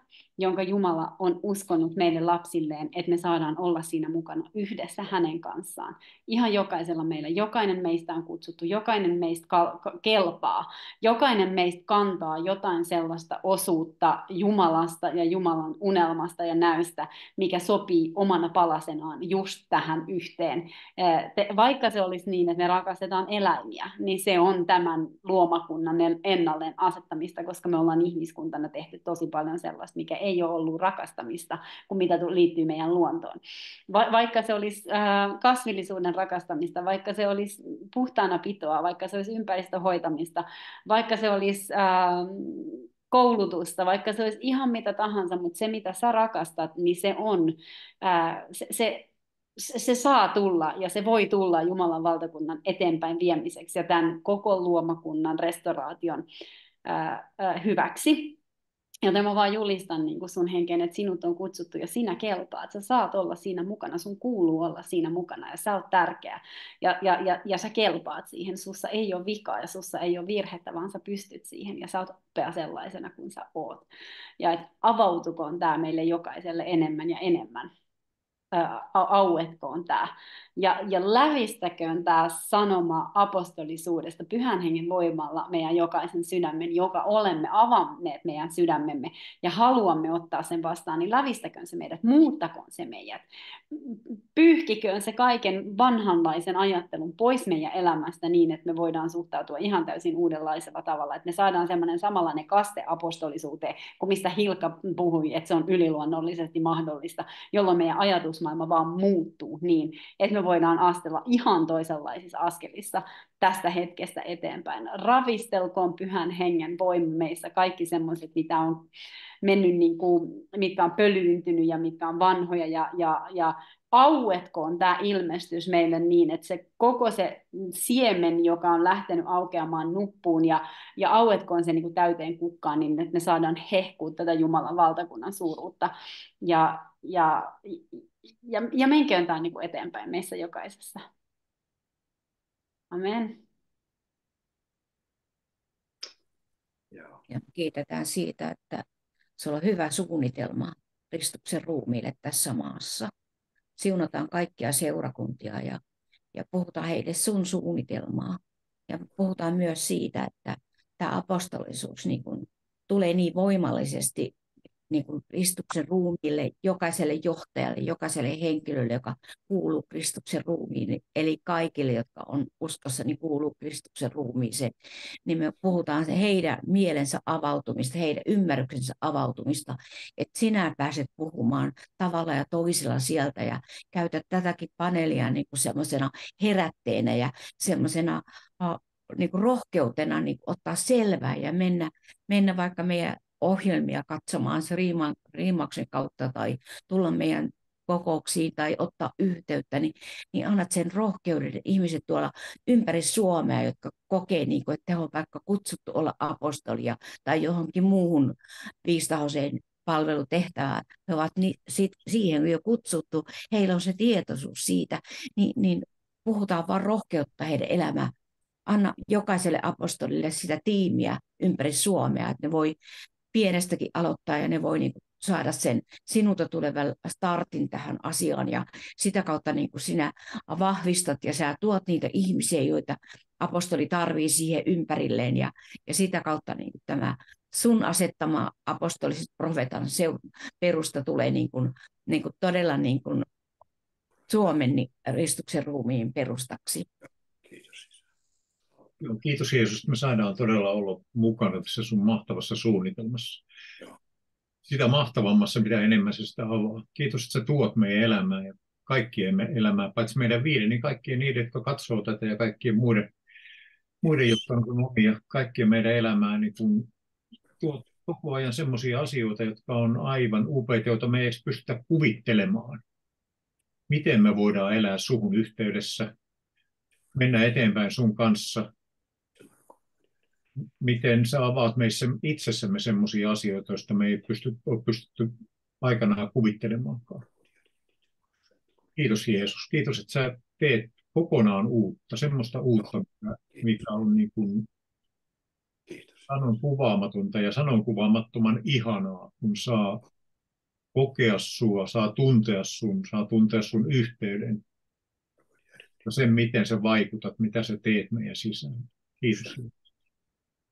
Joo, kiitos Isä Jeesuksen nimessä siitä, että sä oot pyhän henkesi lähettänyt jokaiseen sun omaasi niin, että me voimme kokea sen yhteyden sinun kanssa ja myöskin elää todeksi sitä sitten toisten kanssa. Ja Isä, pyydän sitä, että nyt Jeesuksen nimessä tämä tuleva viisi suuntakonferenssi, että se saa olla sellainen silmien avaaminen monille, monille, joita sä oot tarkoittanut. Isä, mä oikein pyydän, että, että, että nyt ne ihmiset ja sun omasia, sun palvelijasi, jotka sä oot tarkoittanut, että tulee tähän konferenssiin mukaan, että he saavat tämän tiedon ja saavat, heille herää se kiinnostus ja heille tulee se halu ja tulee mahdollisuus eh, lähteä liikkeelle, koska sinä haluat puhua ja sinä vaikutat. Sinä kutsut idästä, kutsut lännestä ja pohjoisesta ja etelästä, läheltä ja kauempaa. Tulkoot juuri ne ihmiset, sinun omasia palvelijasi, jotka sinä olet tarkoittanut tulemaan nyt tänä keväänä tähän suuntakonferenssiin. Tervetuloa Jeesuksen nimessä. Mm. Isä, kiitos siitä, että sä käärit sun läsnäolo jokaisen kuulijan ympärille. Isä, kiitos siitä, että sä olet rakentamassa Suomen perheen, joka ulottuu idästä länteen ja pohjoisesta etelään. Isä, me halutaan antautua sulle tänä päivänä tässä hetkessä sillä tavalla, että sä voit tulla ja pistää meidän sisälle valtakunnan ja apostolisuuden itse, niin että mm. sitä ei ole ihminen meille kertonut, vaan Jumalan henki on avannut meidän sisällä sen. Pyhänkin mä pyydän, että sä täytät jokaisen kuulijan, joka kuuntelee meidän striimiä sun hengellä, niin että ne on niin tulessa valtakunnalle, että tuntuu, että onko tulee lieskä, joka vaan menee sinne, mihin pyhä henki johdattaa. Isä, mä pyydän, että sä avaat kaivot Suomessa herätykselle niin, että jokainen uskova Suomessa herää, ei vaan kuule sua, vaan tuntee sinut sisällään ja liikkuu siinä voimassa, joka armo antaa. Isä, mä pyydän, että sun armo voisi tulla ja vuotaa jokaisen ylle Suomessa sillä tavalla, että me ollaan yksin armosta syntyneitä. Isä, me pyydetään, että pyhä henki, sä saisit vapaasti niin kuin villituli levitä koko Suomen yli niin, että Suomesta sanotaan, että Suomi on tulessa.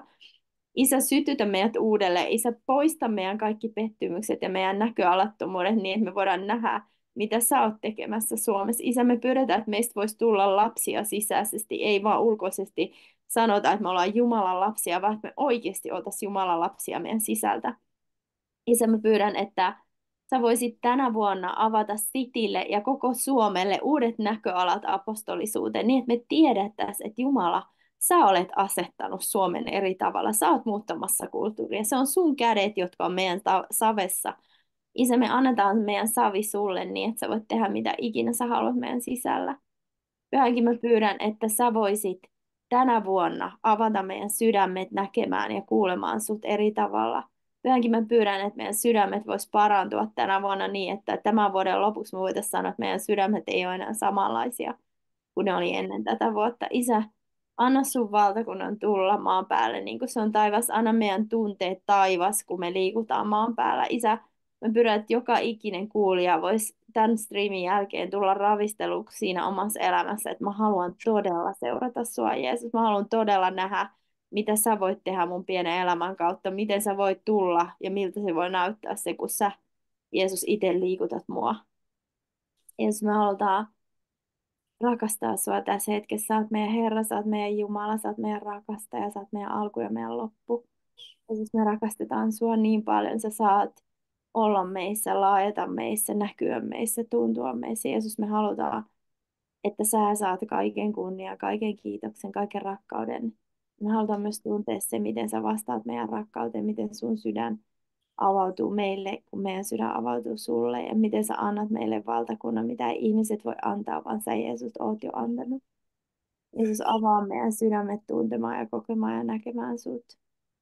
Isä, mä haluan kiittää jokaisesta kuulijasta, joka on tänne asti päässyt meidän striimissä. On ollut ihana olla teidän kanssa ja ihana olla meidän tiimin kanssa tässä.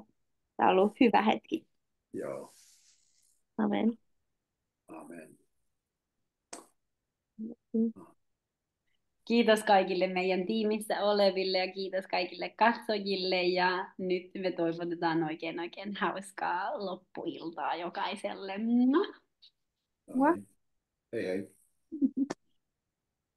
so. Yes.